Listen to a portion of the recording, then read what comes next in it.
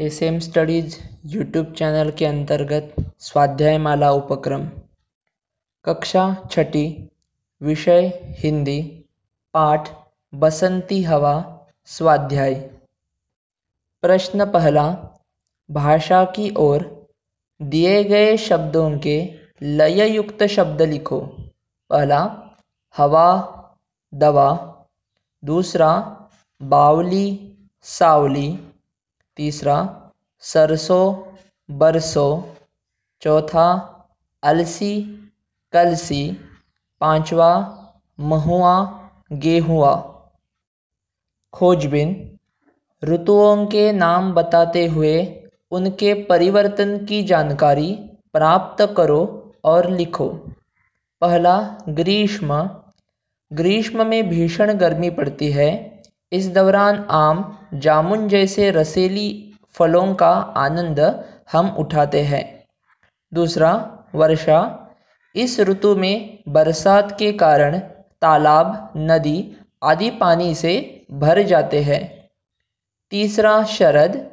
यह ऋतु बहुत ही सुहावनी होती है।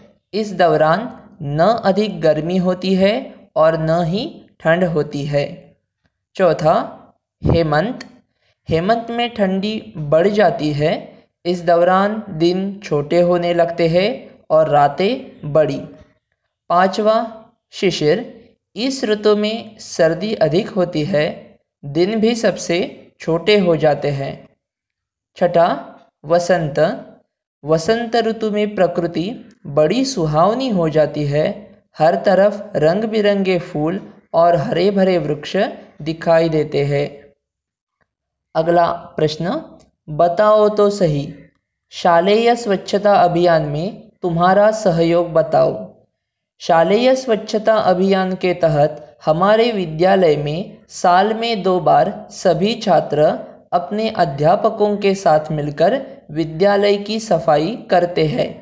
इस अभियान के अंतर्गत विद्यालय और विद्यालय परिसर की सफ़ाई की जाती है। मैं हर बार इस अभियान में पूरे मन से अपना सहयोग देता या देती हूँ। हमारी कक्षा के छात्रों को कक्षाओं की सफ़ाई का कार्य सौंपा जाता है। मैं हर बार कक्षाओं की खिड़की, दरवाजे, बेंच और शामपट पहुँचने का कार्य करता या करती हूँ। प्रश्न तीसरा, रिक्त स्थानों की पूर्ति करो। पहला, नहीं कुछ फिकर है। दूसरा, गिरी धम्म से फिर चढ़ी आम ऊपर। तीसरा, वहा गेहुओं में लहर खूब मारी। चौथा, हिलाया झुलाया गिरी पर न कलसी अगला प्रश्न, अध्ययन कौशल्य, वायुमंडलीय स्तर दर्शाने वाली आकृति बनाओ। लेयर्स ऑफ़ एटमॉस्फेयर आप देख सकते हैं, क्षोभमंडल, समतापमंडल, मध्यमंडल, तापमंडल, आयनमंडल और बाह्यमंडल। धन्यवाद।